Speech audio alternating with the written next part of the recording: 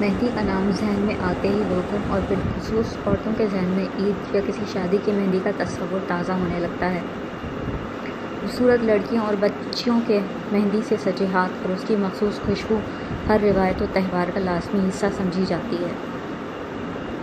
पुराने ज़माने की खातन आज भी एक हाथ पे कोन मेहंदी से, सादा से नक्श व निगार बनाकर दूसरे हाथ में मुट्ठी में मेहंदी भरकर सो जाती हैं। सुहागनों के हाथ मेहंदी और चुनियों से ना सजे हों तो इसे नहूसत और कमबख्ती समझा जाता है। इसका उम्र से कोई ताल्लुक़ नहीं, मगर बुज़ुर्ग व पीराना साल भी बालों में मेहंदी शौक़ से लगाते हैं। किसी ज़माने में मेहंदी इस तरह लगाई जाती थी कि ख़वातीन ताज़ा व ताज़ा मेहंदी के पौधे से उसकी पत्तियाँ तोड़ती थीं, फिर उन्हें पीसा जाता और तेज़ रंग लाने के लिए उनमें गुड़, इमली का पानी और लीमू समेत दर्जनों टोटके आजमाए जाते हैं। फिर कौन मेहंदी की आमद के साथ ये रवायतें गुम होने लगी? मगर इन जदीद मेहंदियों के रंग जितनी तेज़ी से चढ़ते हैं, उतनी ही तेज़ी के साथ उतर भी जाते हैं। और रंग उतरते वक्त बदनुमा धब्बे और खुशबू की जगह तेज़ाबी तेज़ी हाथ जलाने लगी तो बालों के लिए ताज़ा मेहंदी भिगोने वालियाँ फिर से रवायतों की तरफ़ लौटने लगी। फर्शें अपनी दरियाफ्त के वक्त खालिश इस्तेमाल की जाती रही है।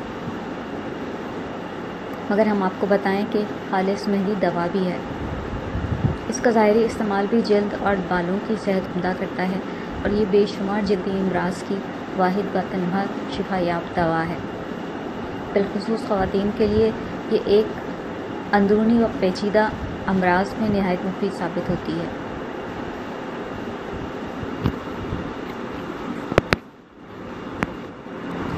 अब हम आपको एक नहायत कदीम लेकिन उम्दा नुस्खे के बारे में बताएँगे। इसमें ताज़ा हिना को जो है, आंवला, सिकाकाई, पीठा, बरहमी, तुलसी और जो है, चंडीगढ़ अद्वियात के साथ पीस कर बालों में लेप किया जाता है। तो ये एक नहायत बेहतरीन दवा बालों के लिए बन जाती है। और इसको मुस्तकिल इस्तेमाल करने से आपके बाल भी जो हैं, वो दोबारा स्याह नहीं सफ़ेद नहीं होते हैं और तेज़ी से बल्कि स्याह होने लगते हैं।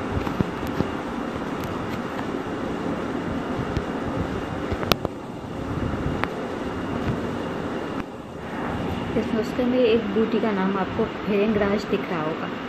ये नाम हर एक को शुरू में चकरा देता है। बिलखसूस जबकि ये बूटी यहाँ पे दवा फरोशों या पंसारियों के पास भी इस नाम से नहीं दस्तियाब होती। राज को अंग्रेज़ी में जो है फॉल्स डेसी कहा जाता है। इसका साइंसी नाम भी ज़रा पेचीदा किस्म का है इक्लेप्टा प्रोस्ट्रेटा जिसको आमतौर पर फॉल्स डेसी कहा जाता है।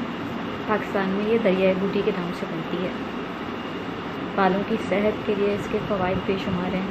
वो कि ये, इसके अलावा भी कई अमराज में इस्तेमाल होती है, बिलखसूस दिल के अमराज में। आखिरी चीज़ जो है इसके अंदर वो मेथी दाना है। मेथी दाना का ज़िक्र जो है वो तिब नबी में भी बहुत ज़्यादा आता है और इसको दिल के अमराज के लिए बेहद मुफीद करार दिया जाता है।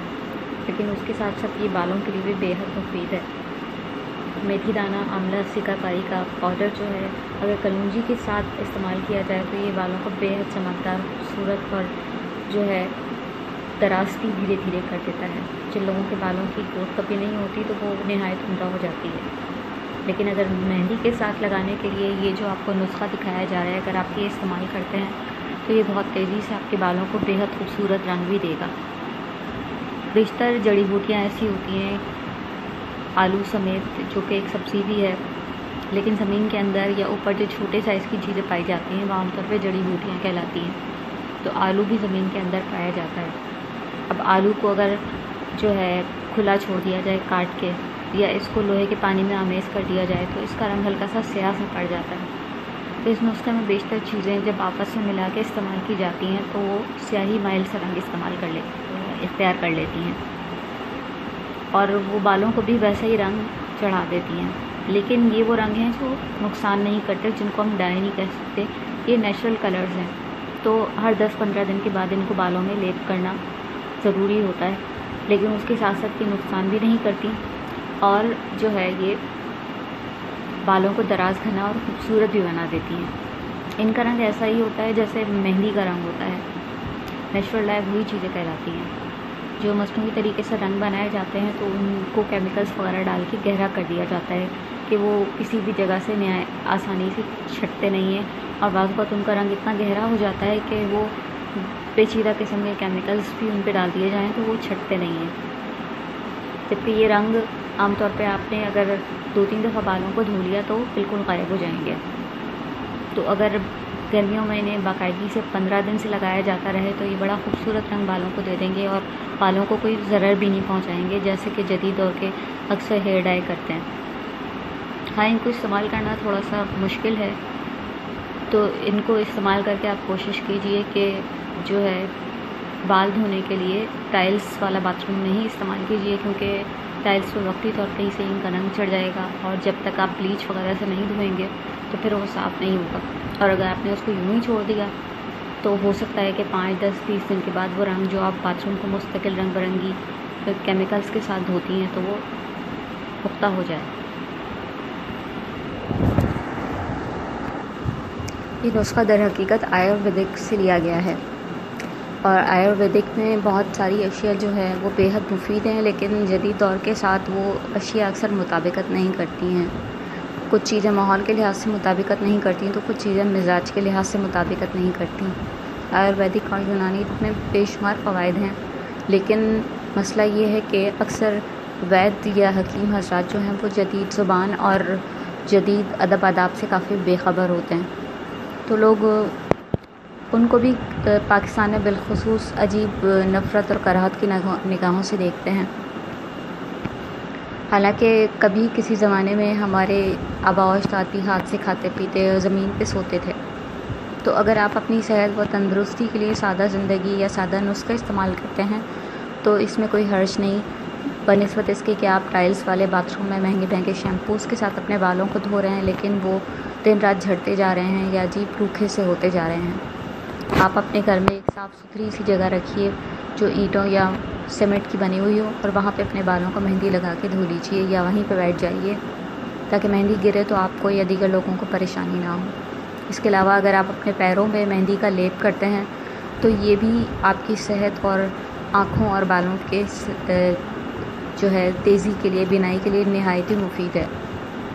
ये बात लोगों को बहुत हैरत अंगेज़ लगेगी, लेकिन अगर आप पैरों के तलकों पे जो भी चीज़ इस्तेमाल करते हैं तो ये बात याद रखिए कि वो आपकी आँखों को और दिमाग को बेहद तकवीत देती है। इस तरह से जो है, एक जिसम को बरकी रो का झटका सा लगता है, जो ऊपर से नीचे उनकी तेज़ी को बहुत तेज़ी से हरकत में लाता है। तो आपके जिसम में ये ब्लड सर्कुलेशन जो है, आपको बहुत ज़्यादा तोानाई फराम करती है और जिसम के अंदर जो बहुत सारे उज़ुव ढंग से काम नहीं कर रहे होते हैं या वो मुर्दा से हो रहे होते हैं तो उसको वो ख़त्म कर देती है। हाँ अलबत् ये भी हो सकता है कि ताज़ा ताज़ा मेहंदी अगर आप मौसम देखे बग़ैर लगा रहे हैं तो इसकी ठंडक जो है वो आपको कुछ नुकसान पहुँचाए। आपको नज़ले की शिद्दत भी बढ़ सकती है और जिस तरह से सख्त सर्दी में अगर एक बीमार इंसान नहा के बाहर धूप में बैठने की जगह कमरे में बैठ जाए, जहाँ और भी ज़्यादा ठंडक हो तो उसे फालिज का हमला भी हो सकता है। ये बात आप किसी हद तक डॉक्टर भी मानने लगे हैं कि मौसम की सख्तियाँ, तेज़ी वगैरह जो है इंसानी जिसम को नुकसान पहुंचाती है। जैसे कि जो लोग पहाड़ों पे वक्त गुजार के आते हैं, जहाँ बर्फ़बारी हो रही होती है तो उनके हाथ पैर जो है वो फ्रॉस्ट बाइट का शिकार हो जाते हैं। यानी जब बहुत ज़्यादा ठंडक में हाथ अगर आप फ्रीज़र में भी पाँच मिनट रखें तो वो अकड़ से जाएँगे, वो हरकत नहीं करेंगे। तो बहुत ज़्यादा ठंडक जो है वो फालिज के साथ जिसम को मुकम्मल तौर पर भी घुला सकती है या गला सकती है, जिसको फ्रॉस्टबाइट कहा जाता है। फ्रॉस्टबाइट का शिकार जिसम जो होता है, वो आपका गोश्त बिल्कुल गला हुआ सा हो जाता है। अगर उसको ना काटा जाए तो उस जगह पे जो असरात होते हैं, वो धीरे धीरे फैलते चले जाते हैं। तो जो लोग पहाड़ों पर से या ऐसी सर्दी का शिकार होकर जब डॉक्टरों के पास पहुँचते हैं तो अक्सर वो उनके गले हुए उज़ुफ़ जो है वो काट दिए जाते हैं, वरना ये फ्रॉस्ट बाइट उनके पूरे जिस्म को भी लपेट में दे सकता है कि अब वो हिस्सा गलते सड़ते जो है, वो वहाँ जहर फैला सकता है। तो सर्दियों के अंदर या तो मेहंदी को लगाने से गुरेज किया जाए या उसको गर्म करके धूप में बैठ जाया जाए और उसको पंद्रह बीस मिनट से ज़्यादा हरगिज़ ना छोड़ा जाए। तो ये चीज़ जो है सर्दियों में भी आपको इतना नुकसान नहीं पहुंचाएगी। लेकिन फिर भी अगर बीमार या कमज़ोर लोग इस नुस्खे से परहेज़ करें तो उनके लिए बेहतर ही होगा। लेकिन चूँकि आमतौर पर बीस से तीस साल की उम्र में ही ख़वान को सजने, संवरने या खूबसूरत दिखने का शौक़ होता है तो उस उम्र में ये नुस्खा बिल्कुल गर्मियों में कतन बेज़रर है। लेकिन उसके साथ साथ ये भी याद रखिएगा कि सर्द गर्म मौसम के असरात भी डॉक्टर्स मानते हैं। मेहंदी में गुनागुन खूबियाँ हैं। अगर सिर्फ़ इसको ऊपर आप लेप करते हैं, तब भी ये जरासीम को ख़त्म कर देती है। इसको पीने से जो है, जल्दी अमराज मुकम्मल तौर पर ख़त्म हो जाते हैं। और बाज़ लोगों के ख़्याल में ये जज़ाम जैसी बीमारी लिप्रोसी जो अब तक नाकबिल इलाज है, उसका भी इलाज कर देती है। लेकिन उसके साथ साथ ये बेतहाशा ठंडी होती है तो इसकी ठंडक बास लोगों को नुकसान पहुँचा देती है। तो चूँकि डॉक्टरों और हकीमों और वैदों का इस बातों पे बहुत ज़्यादा शदीद अख्तिलाफ़ है तो वो आमतौर पे एक दूसरे की सुनना भी पसंद नहीं करते। वरना इसका सादा सा हल ये है कि पास जगहों पे फौरी अगर आपको अपनी सेहत बहाल करनी है तो हकीमों के नुस्खे अच्छे होते हैं। ये पे कहीं कहीं पे कुछ हकीमों के नुस्खे बहुत फ़ायदा दे जाते हैं, और कहीं कहीं पे डॉक्टरों के नुस्खे जो हैं, वो फौरी सेहत के लिए बहुत ज़रूरी होते हैं। लेकिन सादा सी जड़ी बूटियाँ जो हैं, वो आपकी सेहत को मुकम्मल तौर पर बहाल करने के लिए नहायत ही उम्दा साबित होती हैं, बिलखसूस मेहंदी। अगर आप मेहंदी का इस्तेमाल करते हुए घबराते हैं तो ये जो आपको नुस्खे की अशिया दिख रही हैं, आप इनको तेल में उबाल के रख लीजिए और वो तेल आप इस्तेमाल कीजिए तो भी आपके बालों को बहुत फ़ायदा होगा। लेकिन वो खूबसूरत रंग इतनी आसानी से उन पर नहीं चढ़ेगा, ज़रा देर लगेगी। जबकि यही नुस्खा आप बरह रास्त बालों पर लेप करेंगे तो ये बालों को रंग खूबसूरत दे देगा। लेकिन इसके जो दूसरे मसाज के और अद्वियाती फ़वाद होते हैं, वो इतना ज़्यादा आपको हासिल नहीं हो पाएँगे।